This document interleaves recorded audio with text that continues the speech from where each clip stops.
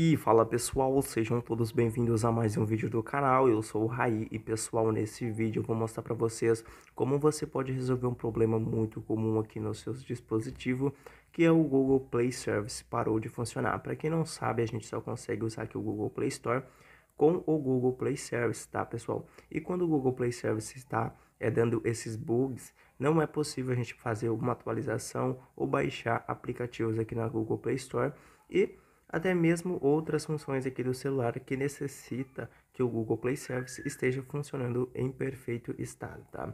Para você resolver esse problema é bem simples, mas antes eu quero pedir para vocês já irem deixando o like aqui abaixo, inscrevendo-se no canal e ativando as notificações, porque assim que sair novos vídeos, vocês vão ser um dos primeiros a ser notificado, tá pessoal?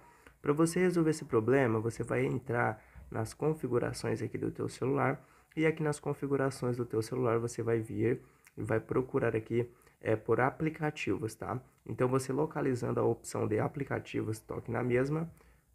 E você tocando aqui em aplicativos, procure pelo aplicativo aqui Google Play Service, tá? E você localizando o Google Play Service, você vai dar um toque nele, tá, pessoal? Tocando aqui em Google Play Service.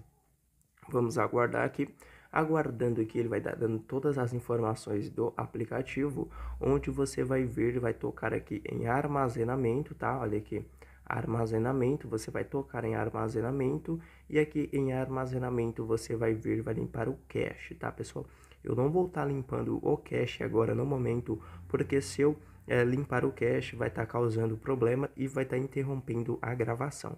Então você vai vir, vai limpar o cache, vai voltar e você vai forçar a parada aqui, pessoal. E você forçando a parada, ele vai reiniciar o aplicativo Google Play Service e você vai estar tá conseguindo é, usar ele aí novamente sem nenhum tipo de problemas, ok? Então vocês viram aí que é bem fácil a gente resolver esse problema.